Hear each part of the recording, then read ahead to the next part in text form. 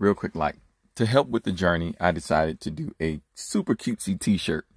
And um, this is what it started off looking like. But then I really got into the background and I was like, all right, so this is not going to be a cutesy t-shirt. I was like, all right, let me, let me keep going.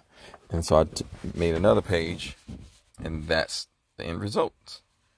As a matter of fact, I did another one too, this fly one.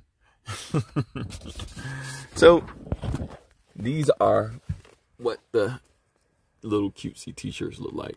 You see how you have it right there. Um, but it's under RT5 Creator Spring.com.